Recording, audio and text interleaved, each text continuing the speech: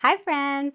My name is Claudia, and this is my Heal Yourself series where you tell me your success stories of how you healed yourself naturally, and I share it with the world to show the world natural healing really works.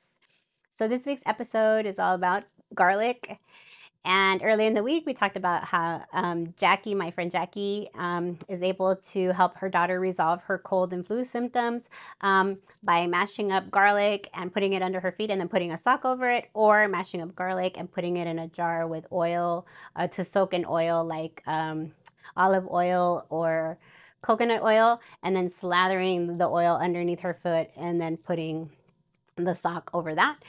Um, and uh, we also talked about um, different um, ailments uh, that uh, garlic is good for.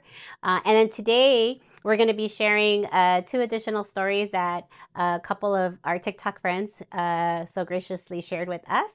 Um, but of course, before we get started, the disclaimer is this is not intended as medical advice. This is for informational um, educational and entertainment purposes only. Please do proper research before you try anything you see on the internet and always consult with your healthcare professional for what is best for you. Okay, um, so um, the first story comes from my TikTok in English and it's from Gloria Valdez.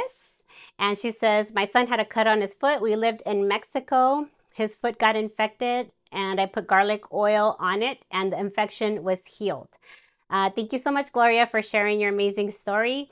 Um, I have uh, in one of her conferences, uh, Barbara O'Neill does say uh, that based on research that I guess that she saw, um, that um, garlic acts uh, or is six times stronger than tetracycline, which is a very common antibiotic. Um, so it's a pretty amazing alternative. If you do the proper research and dose yourself properly, you could really use it as an antibiotic and I think it's just amazing uh, that we can heal infections and everything, you know, utilizing natural things because um, prescribed antibiotics can have a lot of side effects, you know, and there's not really um, a lot of side effects other than, you know, garlic breath and um, possibly an allergic reaction. But I mean, an allergic reaction you could have to any kind of medication as well, you know, so you got to kind of weigh the pros and cons.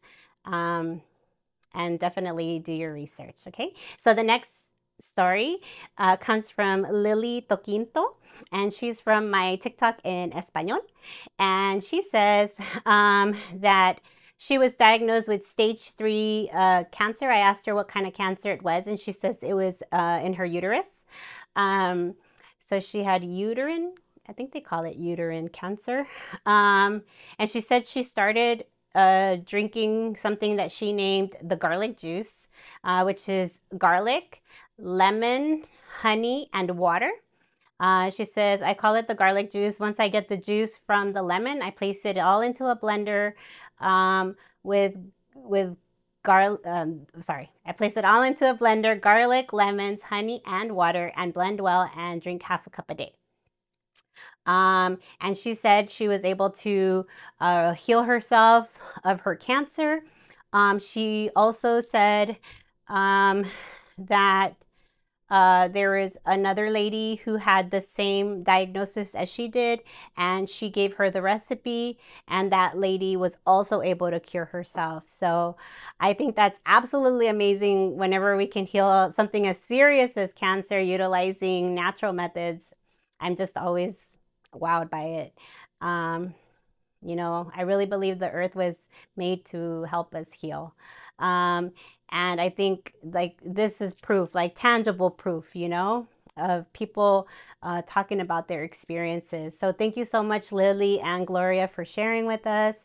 Um, you know, if you have uh, cancer or some type of infection that you're struggling with, definitely look into garlic. Um, you know, if you Google garlic and pretty much like whatever illness you're looking to resolve into the internet, I wouldn't Google because Google hides a lot of information. You know, there there's a lot of money that kind of influences what we're able to actually see on Google. Um, you know the people with the most money pay so that you see their information first. Um, so, you know, if you use alternative uh, search engines, maybe Yandex or any other type of search engine other than Google, I would say maybe Yandex or DuckDuckGo, although DuckDuckGo is kind of questionable sometimes. Um, use Yandex, or there's a few other ones, um, but definitely research it online. Usually, you will find hundreds of people who have uh, this had the same illness, um, and they are like literally telling you like what they tried and how they failed on certain things and how what things were successful. You can find so much information when you're trying to heal naturally because although it's not outwardly advertised, you know, in the medical industry, um, you can find a lot of information online. Who, who becomes a better expert than somebody who has been diagnosed with something and is looking to heal themselves naturally. Somebody with any type of diagnosis has done, you know, extensive research to try to heal themselves. I would say they're probably pretty expert on their matter, especially if they actually did get to heal it utilizing natural methods completely. Um, so definitely research. You can always do in the search engine, you know, like if you have breast cancer, you could put uh, garlic and breast cancer or whatever it is you're trying to heal. Um, and you'll see a lot of stuff pop up if you utilize the right um, search places.